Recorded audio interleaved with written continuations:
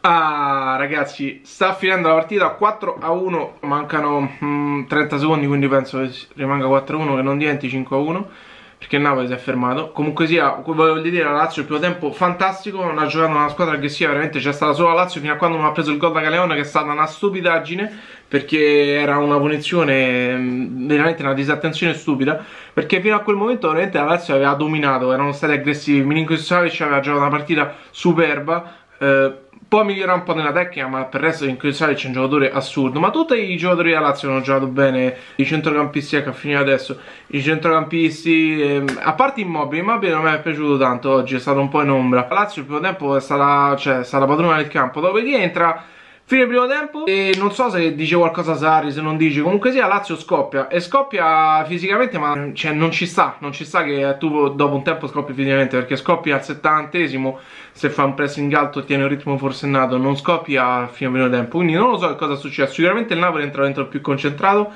hanno cominciato a fare le palle dentro fuori dentro fuori massimo due tocchi veramente credo solo all'An e qualche azione personale ma per il resto hanno giocato tutti i due tocchi cioè stato a un certo punto non ci hanno capito niente i giocatori della Lazio perché hanno giocato tutto di prima ma non i giocatori più tecnici anche Koulibaly. Quindi questo è sicuramente il lavoro che, che, fa Sarri. E poi vabbè sono andati giù gol a valanga perché il secondo tempo veramente il Napoli poteva fare 5, 6, 7 gol um, hanno avuto un sacco di azioni la Lazio è scomparsa letteralmente il secondo tempo scomparsa non c'è stata in campo quindi non lo so che cosa è successo però mh, probabilmente anche una questione fisica perché comunque la Lazio veniva dalla partita con Genova che aveva giocato, cioè era, mh, aveva giocato male a bassa intensità. E probabilmente eh, aggredendoli così non lo so, sono scoppiati ma il Napoli comunque una capacità di recuperare le partite che deriva dal, da dalla consapevolezza e da veramente i meccanismi che stanno in testa. Perché loro prendono un codice vabbè non fa niente perché tanto noi andiamo avanti. Boom boom boom boom boom boom boom, boom di martello un attimo coi 1 2 3 gol li fanno a parte la Juve. La Juve è l'unica squadra che al San Paolo a dominare cioè a dominare, a vincere, poi dominare è opinabile, però comunque sia Juve ha vinto e secondo me ho visto la partita anche militarmente, per quanto ne voglio dire quei tifosi della Juve che penso io stia qui aspettando che la Juve faccia passi pazzo quando non hanno capito a me non me ne frega un cazzo veramente.